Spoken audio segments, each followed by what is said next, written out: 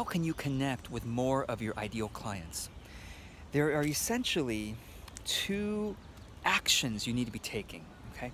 One action is to be talking about things that your ideal clients are interested in.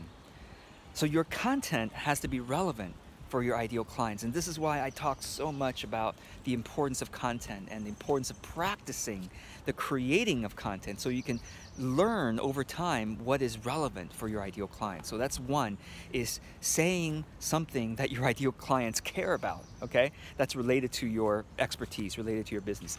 That's a that's one thing you need to be doing. The second thing you need to be doing is distributing that content to where your ideal clients are. So you need to be showing up where your ideal clients are hanging out. And I'm going to talk about online because this way you don't have to go anywhere outside uh, to try to network and try to meet your clients physically. You can just do it from wherever you can you are, wherever you live and work or wherever you travel, you can always do this online. So so that's the distribution of your content to the right places. So um, let me talk a bit about distribution and I'll go back to the relevance part. How do you distribute your content to the right places? I'll give you two of the my favorite ways right now, the simplest ways. One is using Facebook ads.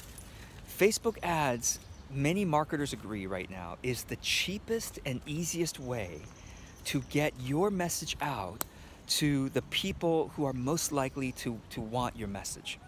Now, even though it is the cheapest and easiest way, it still takes practicing and learning. I, I hear people tell me all the time, oh, George, I tried Facebook ads and it didn't work.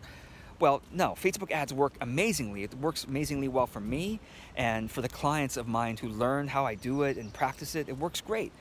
You have to learn how to do it, okay? If you're interested, I actually teach a whole course. I believe in it so much, I teach a whole course on Facebook ads. But um, whether you're learning from me or from somebody else, learning Facebook ads is really, really worthwhile for the distribution of your content. And then the, the second way I mentioned is to trade with another service provider, another content provider who has a piece of content that, that they're proud of, that, that you think would be great for your audience. And same thing, if you have a piece of content you're proud of, they think would be great for their audience, then you can trade the promotion of it. You share their piece of content, they share your piece of content.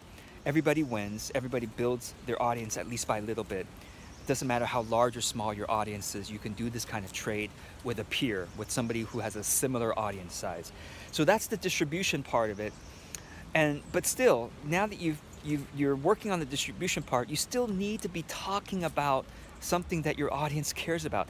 If you're if you've got a bit of an audience, you're posting things on social media, but they're not responding. Okay, people aren't responding to your content there's one of two reasons. You're not posting it to the right people, which again, I'm talking about Facebook ads is better and trading with content providers who have a similar audience. Those are, uh, those are better ways to make sure you're talking to the right people. And then the second thing is you need to be saying something that they care about. If you're talking to the right people, but they're still not responding, I'll be honest with you, you're not saying something that's interesting enough for them. Now, it's, it, it you'll notice if you say a lot of different things, some things that you say are going to be interesting for, for people. They're going to respond, and some things they won't. And that's that is a, a blessing because they are basically telling you to do more of the thing they're responding to and to do less of the thing that they're not responding to. So just you have to be honest with yourself and notice the pieces of content you're putting out there that are working and especially content that's related to your expertise and to your business. It's people say, well, George, whenever I post pictures of my dog or my cat, it's popular. Well, yeah, but if it's not related to your business, that you know, it doesn't matter. It has to be it has to be something that your ideal clients are engaging with and is related to your expertise or to your business. That's the combination we're looking for for content that matters. Okay? So I hope this is helpful. Um, as always, I'll have more thoughts in the notes of the video, but just remember to ask yourself these, these questions. Am I showing up where my ideal clients are? Okay, for example, through skillful use of Facebook ads and trading with other content providers with a similar audience. Okay, am I distributing my content wisely?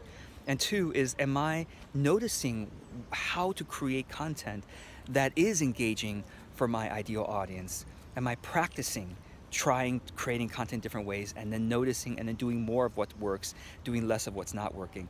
Am i doing these things? If you are doing these things then you are i i, I, I bet you you are connecting with more and more of your ideal clients over time.